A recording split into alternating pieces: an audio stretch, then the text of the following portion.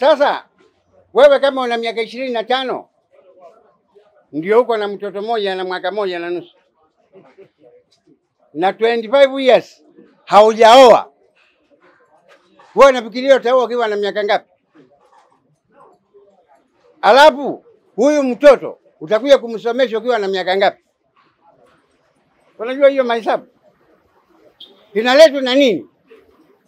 Maanake zamani sisi wakati tuko na mali kulikuwa kuna mabali, mali mababu zetu mababa zetu walikuwa na mali. So mimi nilioa nikiwa na 20 years nikaoa. Sasa leo wewe kijana ukiwa na 20 years unaweza oa? Haiwezekani. Je, kama utaoa ukiwa na miaka thelathini na tano ama arobaini, mtoto wa kwanza akifika pomwani utakuwa na miaka ngapi? Akimaliza four atakuwa na miaka ngapi? Je, wa pili utaweza kumsomesha? Atakushinda, kwa sababu umri umeenda. Ni nini inasababisha wewe kuchelewa? Mazingira. Kijana kama huyu ukienda Tanzania unakuta serikali inampa mkono alime gunia kama laki moja, serikali inampa mkono alime, pesa yake inamwekea kwa akaunti, serikali inakata pesa yake. Hapa Kenya ni nani anaweza kushika mtu aina hii mkono na kalima? Unaweza tueleza nani? Kuna moja. Je, viongozi wetu tumechakua wambunge, ni nini ndani ya wambunge hawezi kaa wakatafuta mazingira ya kwamba Kenya miaka yote ni njaa, ni njaa, ni njaa. Tunaweza ondoa namna gani? Ni kiongozi gani moyo ulisikia hili swala akilizungumzia? Maanake imekuwa ndiyo njia ya kupiga kampeni naye hii. Je, kwa nini tunaagiza vitu kutoka nje na tunazo hapa, ndio watu wapate commission? Ndio maanake, hakuna kitu kingine, ni hiyo. Sasa hao wambunge tuko nao saa hii, ile vitu yote wamepitisha hivi sasa, atakuja tena akuitishe kula, wewe utamwambia nini? Maanake atakuja sasa akwambia ataka kura yako, utamwambia nini? Maanake nyinyi wa Kenya ni waoga. Kwa nini? Mtu hajachakuliwa hajaitwa mheshimiwa, yeye atafuta kura kio nasema mpisheni mheshimiwa akae, sababu wewe wataka zile mia mbili. Hiyo ndiyo nia yako, hakuna nia nyingine, na ndio naona hii shida yote tuko naye mpaka leo.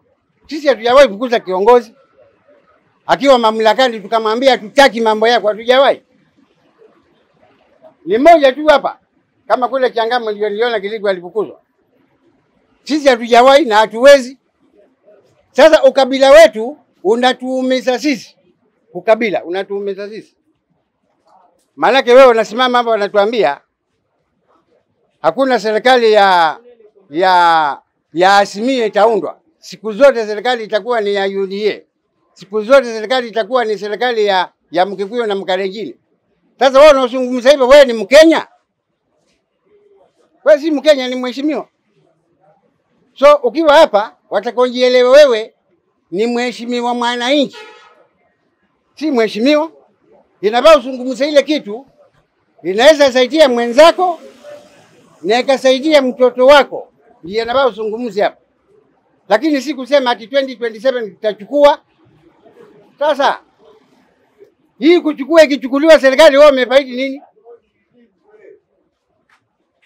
Wajua hivi tuko hapa, kama tuko mbizi hakuna mtu angekuwa amesimama hapa. Kweli urongo?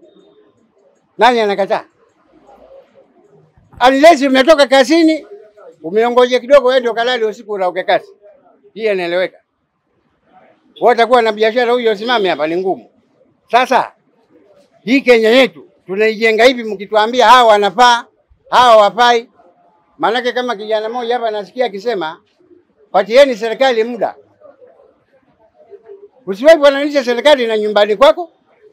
Serikali kwa masaa matatu ama kwa miezi miwili inaweza tengeza trilioni tatu ama nne. Wewe kwako nyumbani mwezi mzima hawezi tengeza elfu kumi. Kweli urongo? Sasa ukituambia serikali ina siku chache, ati unaongea ile maneno wale jamaa wanaongea, wewe wani wanakudanganya hivi sasa. Ukiingia kwao, waangalie ni pesa ngapi wamechukua kwa hii mwaka moja na hii miezi ni ngapi? Tunaelekea trilioni tatu. Alafu wewe unasimama hapo unatuambia serikali haina pesa, tuipatie muda. Wewe uko Kenya. Kwa hivyo kitu kilioko ni kwamba ukizungumza hapa, waongee kitu inaweza jenga mwenzako, si kuzungumza ukijiita mheshimiwa. We ni mheshimiwa mwananchi, inabaa uelimishe mwenzako. Siasa si vita. Usione Ruto na Raila wakilumbana uone hawezi kaa meza moja, hiyo ni urongo.